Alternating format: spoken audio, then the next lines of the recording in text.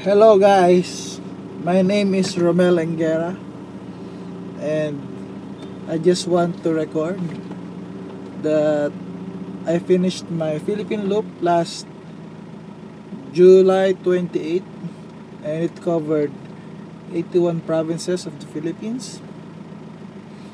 And I started my uh, journey May 20th 2018 and it took me uh, 69 days of continuous travel before I finished my Philippine loop this year uh, this year. I was using uh, my uh, my bike which is a Kawasaki 125 Z125 it's a color green and I, it's a partially modified bike. And it took me uh, the, tra- the uh, distance I traveled during my loop was 1,000 uh, 11,625 kilometers.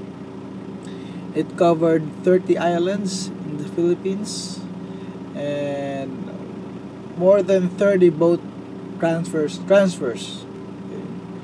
And the highlight of my journey is going to Batanes, uh, which took uh, two boat transfers from uh, from the town of Aparri going to Calayan. Uh, the from Calayan and going to Batanes, which took uh, five hours from Aparri to Calayan and another 10 hours from Calayan to Batanes.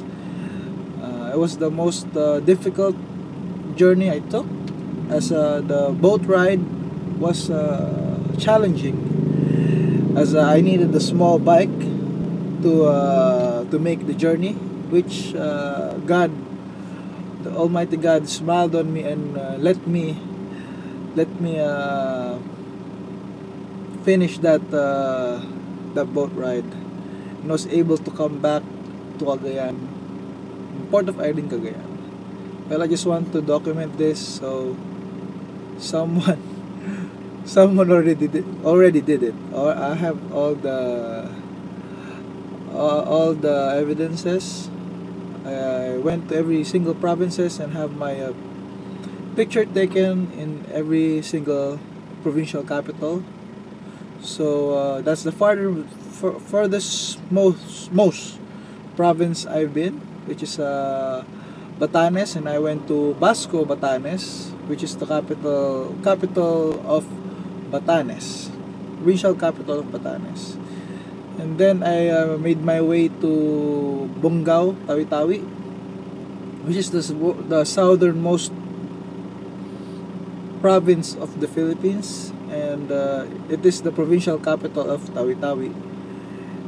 And I made my uh, jour- and I took the journey back to Manila just last June 28 2018 so as a I think not sure yet I'm the first first guy to ride a bike going the furthest most province in the Philippines uh, up north that is Batanes and going down south to Tawi-Tawi and go, going back to Manila.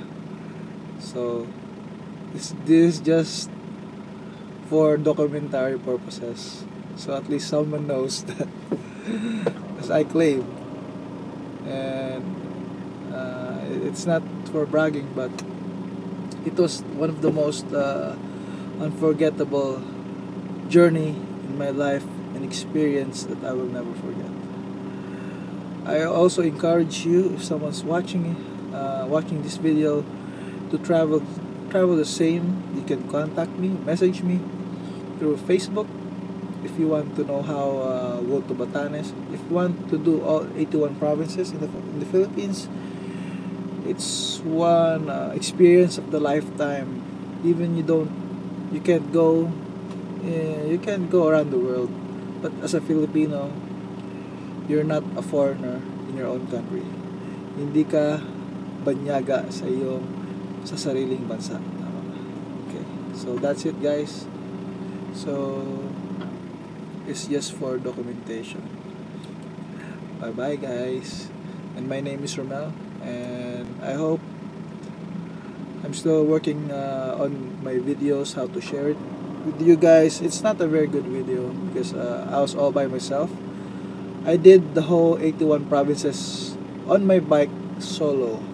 Okay, so I don't have my own photographer with me, no videographer, whatever, and I have to do it with my trusty monopod, which is uh, very challenging, but uh, it's very nice and very fulfilling.